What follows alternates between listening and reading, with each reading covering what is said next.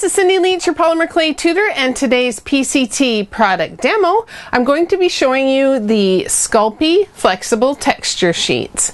Now, a little while ago, I got a box of all the new products for, from Polyform for 2013, and I got in there all kinds of neat things. I've shown you some of some of them already, but what was in there was their new texture plates or texture sheets they're calling them.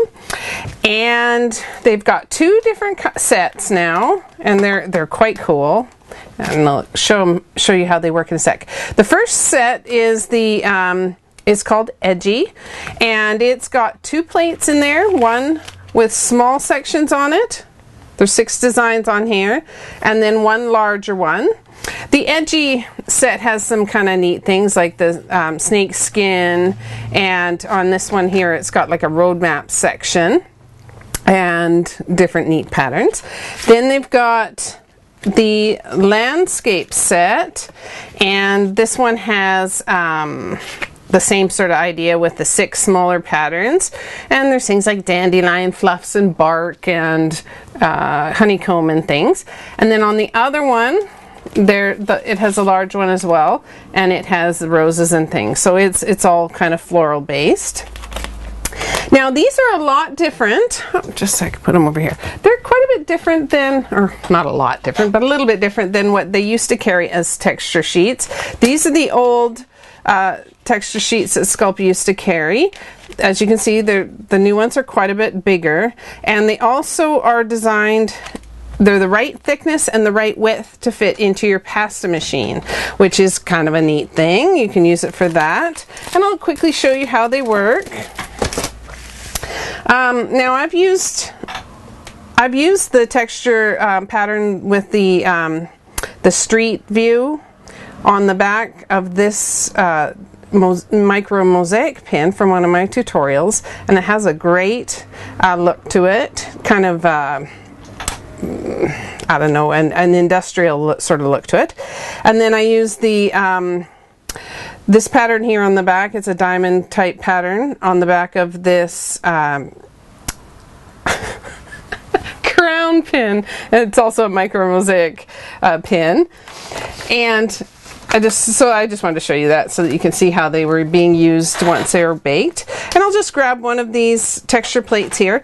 Um, there's a couple of different ways that you can use them. You can use them uh, with clay and just roll on the top of the surface, put your clay on top and use an acrylic roller. But I wanted to show you a neat little trick that you can do. Because the the way these are quite um, they're deep embossed. You can actually use something like um, ink here.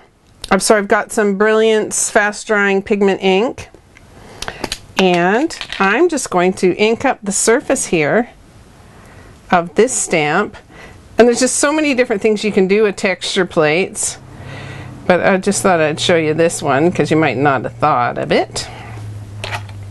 Then we can take our piece of clay and we can set it on top and just now you actually we're going to do it the other way around. We're going to put it and press into it so we can see it without smudging it around. So I'm going to lay it down on top press it in to the clay. Now you can use a um, a roller like this on top. And the nice thing about the the way these plates are designed or sheets is that you can really see through it. So you can see how well the um, the image is embossing. If if the color of the clay is showing really well, then that means that you're getting a good impression. And if it's all milky looking, then it's not good enough. So there we go. See, isn't that neat? So we've got, um, you've got the, you've got the ink right down into the pattern like that, and then you can cut it out. You could cut it into a pendant or whatever you like. So that's one neat way of using it besides just your regular way. And then to put it through the pasta machine, what you're going to want to do, here I would just wipe that off first. You want to use a little bit of water on your um, texture plate, you, or you can put it on the clay, it doesn't really matter which way. And we're just going to make sure that it's misted on there well. And it keeps the, the uh, clay from sticking in there too much. The ink worked that way too. Now I've rolled out a sheet at the thickest setting, but I'm going to roll it a little bit thinner because once you get it once you have your uh, texture plate added as well and everything, you, you're going to have it too bulky if it's if it's at the thickest setting. So I'm going to roll it down a couple of settings, maybe two or three. It's up to you, but a few would be best. Then what we're going to do is I'm just going to set this here kind of to rest and hold this where I'm going to put it. And if you kind of hold it away from there, I find it works a little easier. Oh, and then you always have to open up the machine to the biggest setting again because you need everything to fit through. So now what I'm going to do is just start running this through. Now I find it catches down here a little bit, but we'll just pop that through.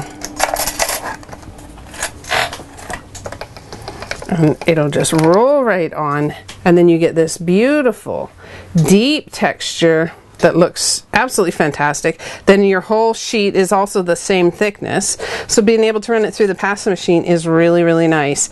Now you can, you always want to blot off your water first before you do too much with it. You can do things like, you know, leave it as is. You can put paint in there. You can rub inks on the top. You can um, just bake it and then um, because it's such a nice deep texture, you can still sand and, and polish it on the top like I did on the pins and get a nice finish without losing the texture on there. So I hope you enjoyed that and um, you might want to go check them out the next time you see them. So if you did like that, make sure to click that like button. I really appreciate it. And my question for you today is, um, have you seen these uh, tex Sculpey texture plates or texture sheets out there yet? And are you gonna go try them? Leave your answers in the comment section below and that would be great. And don't forget to subscribe. We have new videos that come out every week, and you're not going to want to miss a thing. We'll see you next time, and bye for now.